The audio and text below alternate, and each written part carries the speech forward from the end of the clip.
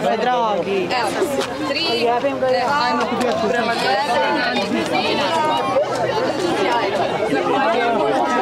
Hvala vam. E, Gdje je Valentinica? Ajmo se igrati, ajmo se igrati. Sad ćete vjerovatno. Za ruke se uhvatili.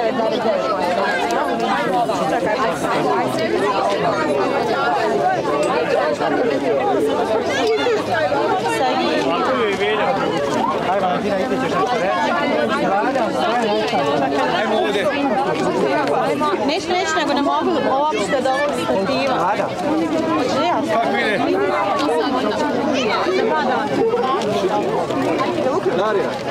Ajde, hoćeš? Kako ste mi? Čekaj, Ljubo, sad ću se ja pomjeriti. Ajde.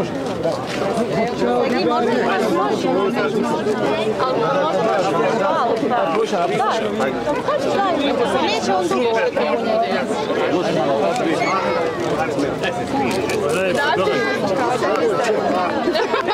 Dobro, nema veze povreda na radu. Ne budu javljati sa mikrofon. Je nekako se gleda na Znaš šta je? Ognjene. Jedan, jedan, proba, test.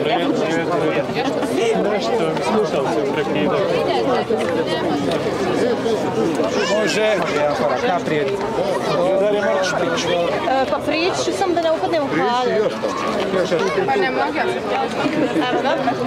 Jel tu upadnem u hlade? Ajde, dobro. Ne želim.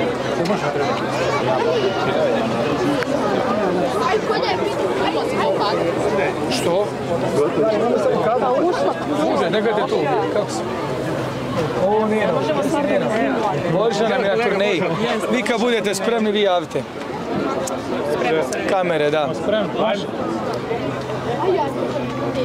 U Banja Luku je došlo ono što smo dugo čekali i dugo pripremali. Uloženo je mnogo tru- truda i evo negdje moja poruka sa ovog danas e, otvaranja jeste prije svega i da pozdravim svu dječicu i medije i da kažem da je ovo za nas veliki dan i za Banja Luku i Republiku Srpsku. Danas u 11 časova e, ovim povodom otvaramo najveće dječje igralište u regionu a, najbogatiji u smislu sadržaja za djecu i rekao bih da Banja Luka ovim dječjim igralištem dobija raj za djecu. Ovo je raj za djecu ja sam uvjeren e, da ne samo roditelji u Banja Luci, nego roditelji iz drugih gradova i opština će imati volju da upale automobil i dovedu svoje dijete e, ovdje. Najveće dječje igralište na 1500 kvadratnih metara e, površine sa 12 e, kula, ziplinom, adrenalinom, e, velikom trombolinom, dakle jednostavno svim sadržajem za sve uzraste, e, za svu našu djecu. Ovo je jednostavno carstvo za a, naše mališane i ja nadam se da neću biti neko ko će nešto prenaglasiti, ali ovo dječje igralište i ovaj sadržaj u parku Mladen Stojanović definitivno može biti ono po čemu će naša djeca pamtiti svoje djetinstvo. Doći ovdje igrati se i a, imati svu ovu ljepotu i prirode i sadržaja, zaista mislim da je jedan od a, najdragocjenijih prostora koji smo mogli na ovaj način da uredimo sa jedne strane, a sa druge strane jednostavno dovesti dijete ovdje nagraditi ga za određene uspjehe a, prijaće svakom djetetu i svakom roditelju. Ono što je važno reći kada završi ovaj turnir, dakle bit će pristupačno za svu djecu bez bilo kakve naknade otvoreno, ali naravno pod video nadzorom moramo jer je sve što urađeno mnogo vrijedno, želimo da dugo traje. Apelujemo na sve naše sugrađane da čuvamo svaku ovdje spravu, svaku vježbu, svaku evo zanimaciju za naše mališane. Naravno ovdje smo pripremili i obezbeđenje koje će u parku Mladen Stojanović biti i poslije turnira i prije turnira i za vrijeme turnira jer evo nemamo najprijatnije iskustva kada nešto ovako izgradimo onda onda zna da se ošteti. Ovo igralište se zove Kula Avantura. Upravo Kula zbog 12 kula, Avantura zbog evo svih ljepota koje djeca ovdje mogu da imaju. Staza koja vodi do ovog dječjeg igrališta se simbolično zove staza sreće jer vjerujemo da će svako dijete osjetiti najveću moguću ljubav e, dolazeći ovdje i boreveći e, u ovom adrenalin Kula Avantura e, parku. Od sadržaja nije samo to, ono što je važno reći, trim staza koja je gotova, koja košta e, preko 200.000 konvertibilnih maraka, za sve rekreativce, sve sportiste u prelijepom ambijentu parka Mladen Stojanović koja je isto završena i prije roka.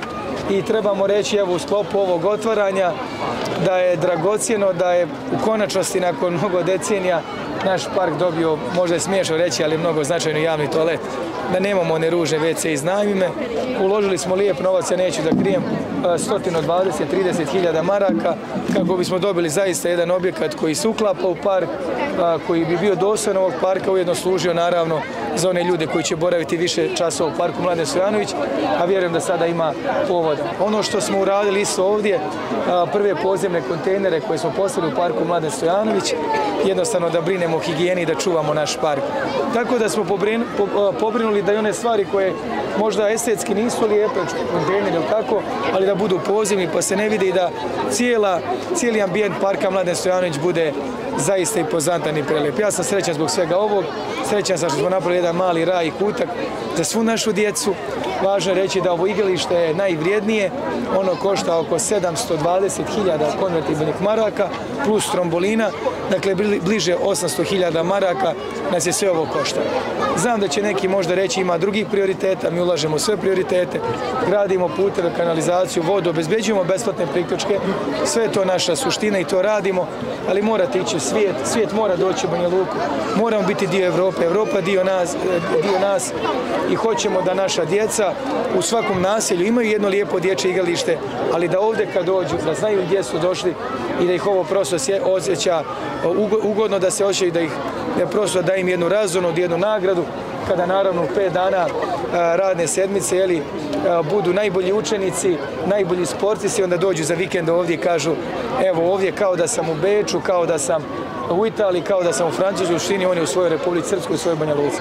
Pozivam sve roditelje da dođu, da uživaju svakog dana, u nedjelju da znate ulazi na ATP ovdje turnir i prve kvalifikacione mečeve i sav kompleks bit će besplatan, tamo da ljudi dođu dodatno da uživaju i nadam se da se ovdje srećemo i ovo će definitivno biti najposjećenije mjesto u našem gradu što se tiče naših mališana i roditelja.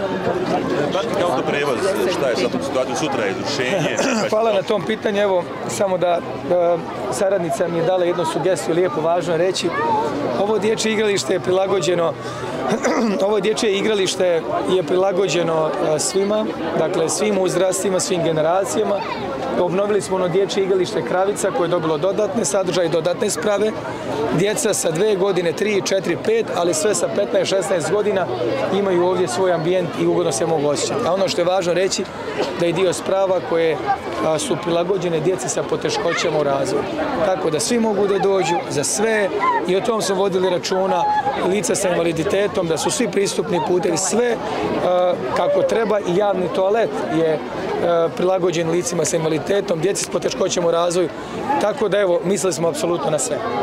Što se tiče vašeg pitanja, ono je veoma značajno. Ja koliko vidim da autoprevoz se oglušuje na apele grada i da oni za te apele grada ne mare. U redu ne marimo ni za ono što oni namjeravaju sutra da nam čine. Mi ćemo sutra i lično ja pozvati sve, evo, radnici, idemo zajedno. Pozvat ću naravno vatrogasna kola, pozvat ću sve komunalna koja budu slobodna, naše automobile, da se tamo parkiramo, da blokiramo takvo jedno izvršenje, da ne dozvolimo takvo jedno izvršenje. Pozivam sve naše sugrađane da u dato vrijeme, kad je zakazana ta vrsta ili uslovno ili deložacije sudskog izvršenja, da budu tamo, ne damo pedalj gradske zemlje, ne damo zato što znamo da hoće sa tim parkingom, kada nam uzmu, da kažu sad hoćemo Vidovdansku. Ne, ja sam spreman da sjednem, i to ću reći jasno, za pregovarački sto oko samog parkinga koji znamo da je sudski gotovo izgubljen. Mi to znamo, mi smo toga svjesni, ali da nam neko tako to uzme i sera nas, onda kaže hoćemo i Vidovdansku, ne. Mi možemo da sjednemo i da pregovaramo onog trenutka kada autoprevoz odustane od Vidovdanske muzeja i spomenika 12 beba. Kad kažu ne, to nas više ne interesuje, odustajemo od toga, ja mogu sjesti za sto. Da sto neću sjesti dok god imamo tužbu, vrijednu 12 miliona za Vidovdansku ulicu, koja je naša ulica, Vidovdanska ulica koja je javno dobro, opšte dobro, ulica koja ima takvu simboliku i značenje da nam neko to uzima ili da nam neko zato traži mnogo miliona. Na to ne pristajemo, prema tome moja poruka još jednom autoprevoz da odustane. Nećete u redu, vidjet ćete nas tamo, nećete uspjeti, čerat ćemo se, borit ćemo se. Imamo načine, imamo vidove mnoge demokratske borbe da sačuvamo ono što je naše i sa druge strane ne samo da sačuvamo ono što je naše, nego da dobijemo bolju pregovaračku sposobnost i kapacitet. Prema tome, vidimo se sutra još jednom. Pozivam sve naše sugrađane da u periodu, evo sutra 13. deložacije javit ćemo tačno vrijeme, vjerojatno je naša ideja pola sata, sat ranije da se pojavimo, logično da nas ne bi neko na pre- prepad ovaj, tu iznenadio i, tako je to, znate. E, jednostavno, a, danas radite ovo, jel tako? A, Danas otvarate dječje igralište i divite se svemu ono što su radili, sutra se borite za nešto drugo. To je posao gradonačelnika, to je moja dužnost. Prema tome sutra se vidimo na pomenutom parkingu, branimo našu imovinu, autoprevoz u tom neće uspjeti, gotovo sam siguran. Par dana uoči sportskog spektakla, da li je Banja Luka spremna? Prespremna. Banja Luka je prespremna. Kao što vidite sve je cakum pakum, zategnuta, sve ključne saobraćajnice modernizovane ili evo su pri samom završetku, imamo mi još dana. Grad čist, a, podzemni, nadzemni, novi kontejneri, iscrtavanje linija, sani- sanacija udarnih rupa, šahtova, modernizacija ključnih saobraćajnica. Moram reći da evo za koji dan će na ulicama Banja Luke biti naš novi autobus ili tako dvospratni sa panoramskim pogledom, spreman sa turističkim prospektima. E, Naši moji saradnici su odredili putanju u kojem će ići. Ovim putem želim da kažem da prvi koji će provozati tim panoramskim autobusom bit ćete vi novinari. Mediji želim da s ljubavlju radošću predstavite svijetu kuda će svijet proći Banja Lukom. Spremni su električni trotineti, kao što vidim svi koriste po cijelom gradu su. Presrećan sam zbog toga, tako da novo ruho, novi ambijent, nova euforija i adrenalin je prisutan u Banja Luci. Radujemo se, večeras je svečan čin trenutak kada otvaramo jedno od najvećih investicija, najvećih gradilišta koje smo završili u rekordnom roku. Sa druge strane, u nedjelju, evo već je spremno, molimo još Boga da nam da dobro vrijeme, ali evo samo da one kažem, vidim ja već te neke komentare kao joj trebate imati krov, pa i ako padne kiša, ne. ATP se mora i mora igrati samo na otvorenom, to su standard, da imate krov ne vrijedi. Dakle, ne može jedan, jedan prostor biti hala, drugi na otvoreno. Ili je turnir na otvorenom ili na zatvoreno. U slučaju vremenskih manjih prilika, tako, meč se prekine na pola sata i naselje se. Tako je u Barceloni, Monte Carlo i Australija Openu i na Wimbledonu. Znači, ajde da, se raspitamo prije nego što trudimo se da unaprijed nešto uh, umanjimo. Prema tome, sve je spremno, zajedno radimo. Uh, hvala svima koji su vam učestvovali, republičkim organima, uh, vlast, institucijama, mojim saradnicima, gradu Banja Luci, evo ovoj e, divnoj ženi Valentini koja ovdje od 0 do 24 sata gotovo kampovala ovdje kako bi sve bilo završeno. Oborili smo rekord i idemo biti ponosni na to. Hvala. E, ajde samo da vidimo koliko sati to Ne, 11, dakle, slušajte, ja pozivam građane, samo možete i prenijeti vas.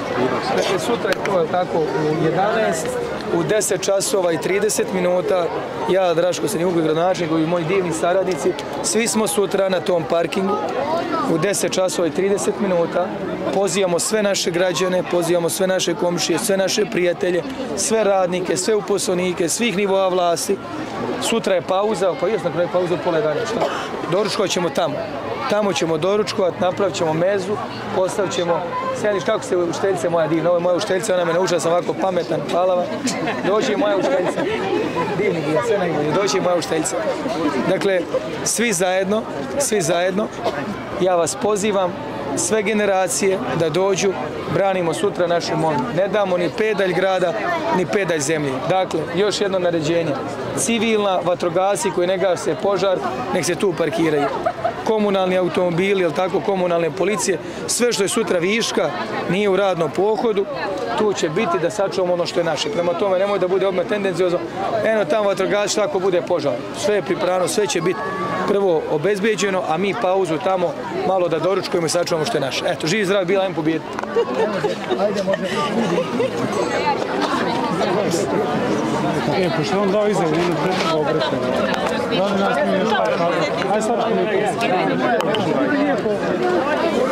Da li